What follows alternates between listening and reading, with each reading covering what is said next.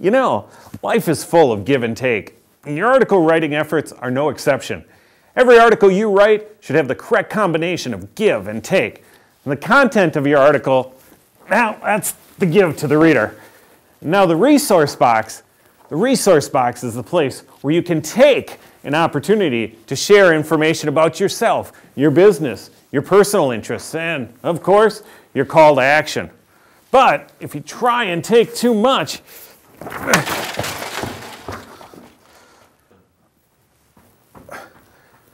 well, you get the idea. Hi, I'm Mark. I'm the Communications Manager for EzineArticles.com. In this video, we're going to talk about Resource Box best practices. First things first though, a resource box is found at the end of your article and gives the reader extra resources to learn more about what they were just reading. In order to craft a highly effective resource box, there are a few simple do's and don'ts to keep in mind. First, do keep it shorter than 15% of your article body line count. Do include your full name and your unique selling proposition. Do upload an author photo so a thumbnail will appear in your resource box. And lastly, do provide one simple call to action and a link to your website in the typical URL form. Some items you might use to entice a reader to visit your landing page may be to offer a free ebook or an MP3 file, a PDF document, or additional graphs or reports, or maybe secrets about the industry, or even your Ezine subscription information. Regardless of what you put in your resource box, make sure you don't tarnish your credibility by overdoing it. Keep it benefit oriented to your ideal client. And this means don't get greedy. Just because you have their attention doesn't mean they won't leave. One simple call to action is part of the perfect combination of take that you get with your resource box. Also, don't list every website you own, or all the awards you won, or the products you're selling. There's no faster way to dilute your credibility than by listing information that has nothing to do with the content of your article. Now that you know how to craft your resource box, let's put it to good use.